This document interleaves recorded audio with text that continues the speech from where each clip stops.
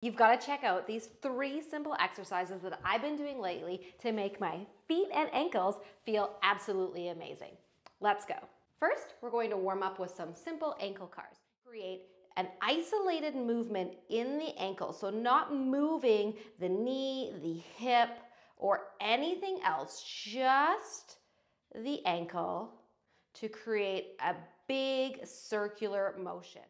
Next, grab yourself a little resistance band. Loop up the big toe and give some resistance to pull that big toe up off the floor, really working to keep all four of your little toes down. Now you're going to pull on the band as you try to put the big toe back down and keep doing this anywhere from three to five times. Take the band and put it around the little toes, working to keep the big toe down on the floor. Now lift the four little toes up and then try to tap those toes down without allowing the big toe to come up off the floor. It's really challenging.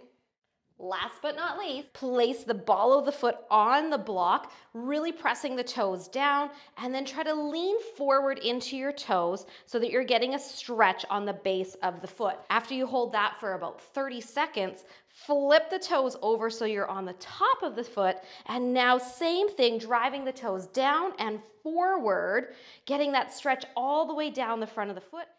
That's it. See how that makes you feel.